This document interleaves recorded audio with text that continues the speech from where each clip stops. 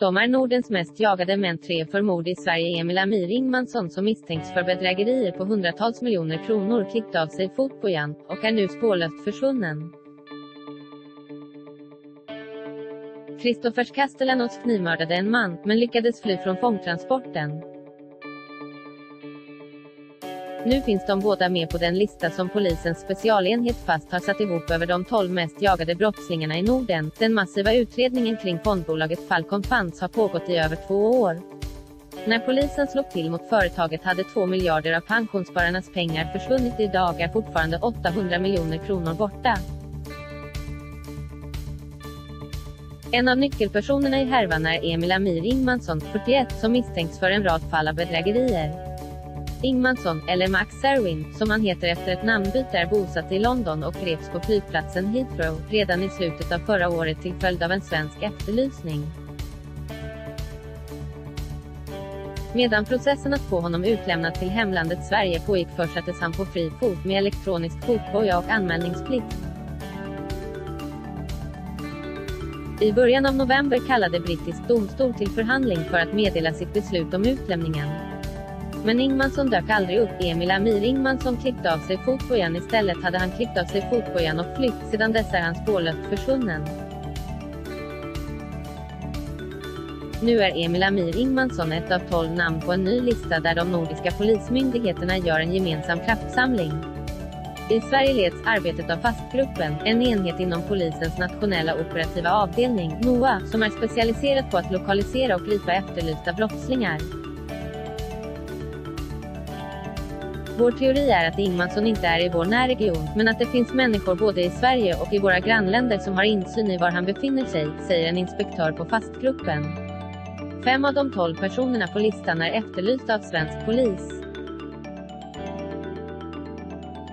Förutom Ingmansson, som tillskansat sig astronomiska summor pengar, så handlar det om människor som misstänks för eller är dömda för grova våldsbrott, säger inspektören. Att fastgrupperna i de nordiska länderna nu går samman och gör en gemensam ansträngning, är ett strategiskt beslut grundat i hur man sett att brottslingar agerat i tidigare fall, där en betydande andel efterlysta personer har gömt sig i grannländerna.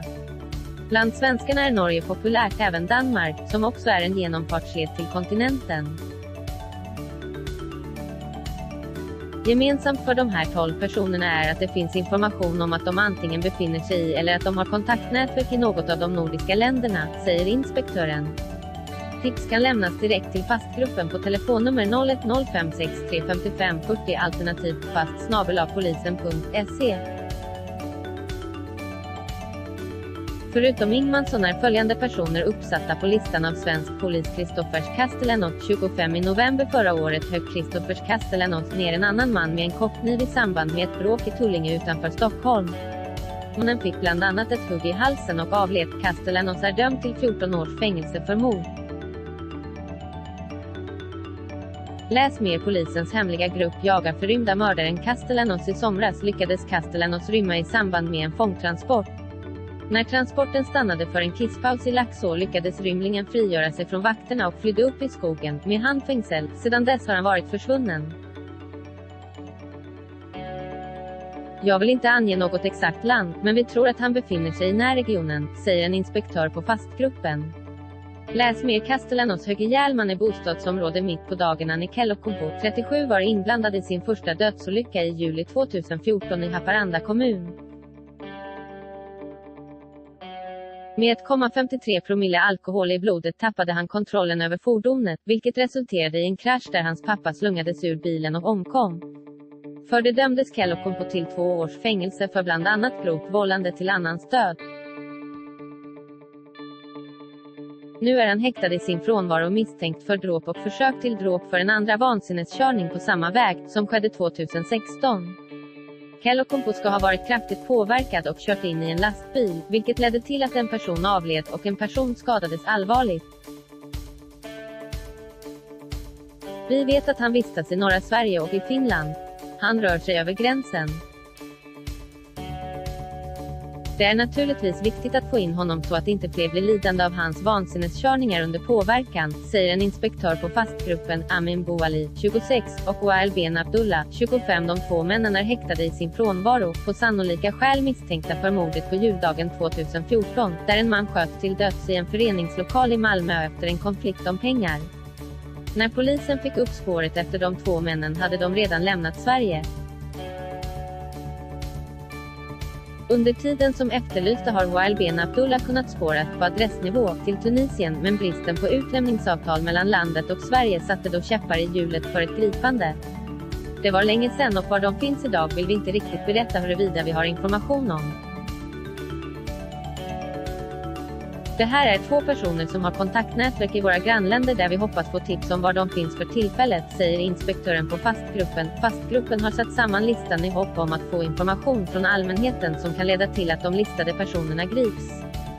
Tips från allmänheten är ovärderliga i just de här ärendena. De behövs lokalisera de här personerna, säger inspektören samtliga namn på listan över Nordens mest jagade är Janne Petter i Tranberg född 1974 längd 180 cm nationalitet Finland internationellt efterlyst av Finland för att avtjäna 649 dagars fängelse samt för åtal om skattebrott i 25 fall. Hans Torbjörn Torsin född 1983 längd 183 cm nationalitet Sverige internationellt efterlyst av Finland Finland. Att åtalas för grovt narkotikabrott och grov vårdslöshet i trafik Mike Soldier tidigare match i Allan Isberg, född 1985 längd 179 cm nationalitet Finland internationellt efterlyst av Finland för att avtjäna 1350 dagar i fängelse, bland annat för grovt narkotikabrott och grovt vapenbrott Sami Marcus Mäenpää, tidigare efternamnen Tuika och Friman, född 1973 längd 168 cm nationalitet Finland internationellt efterlyst av Finland för att ha rymt under en permission. Har 1724 dagars fängelse kvar att avtjäna, för bland annat bråk och vapenbrott Ville Tapanilemus Metse född 1982 längd 172 cm nationalitet Finland internationellt efterlyst av Finland för att avtjäna 2707 dagar i fängelse. Dömd för bland annat grovt narkotikabrott. Amin Katra född 1989 längd 178 cm nationalitet Afghanistan. Internationellt efterlyst av Danmark för mord i Vejle i juni 2016 där han misstänks ha skurit halsen av brottsoffret som Kort därefter avled. Mohammad Ahmed Hassan född 1983 längd 190 cm nationalitet Somalia. Internationellt efterlyst av Danmark för mord i Brönsö i augusti 2009 där han misstänks ha knivskurit en person till döds. Max Derwin, tidigare Emil Amir Ingmansson, född 1977 längd 175 cm nationalitet Sverige internationellt efterlyst av Sverige för ett antal grova bedrägerier kopplade till Falcon Funds-härvan där miljardbelopp försvann från svenska pensionssparare. Klippte av sig sin fotboja i början av november och är sedan dess på rymmen. Jani Kellokompo född 1981 längd 181 cm nationalitet Sverige internationellt efterlyst av Sverige för dråp och försök till dråp i samband med en bilkrasch i Haparanda 2016, där Kellokompo körde påverkad. Är tidigare dömd för en liknande dödsolycka.